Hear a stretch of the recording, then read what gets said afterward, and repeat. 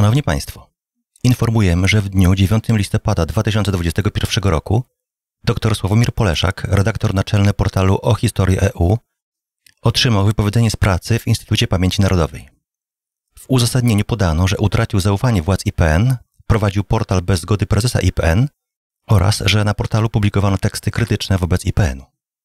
Jako redakcja portalu uważamy, że działania prezesa IPN Nawrockiego wobec Sławomira Poleszaka noszą znamiona politycznej czystki i jako takie są niedopuszczalne. Niebawem więcej o sprawie będziemy mówić na łamach portalu. Redakcja portalu o historii EU.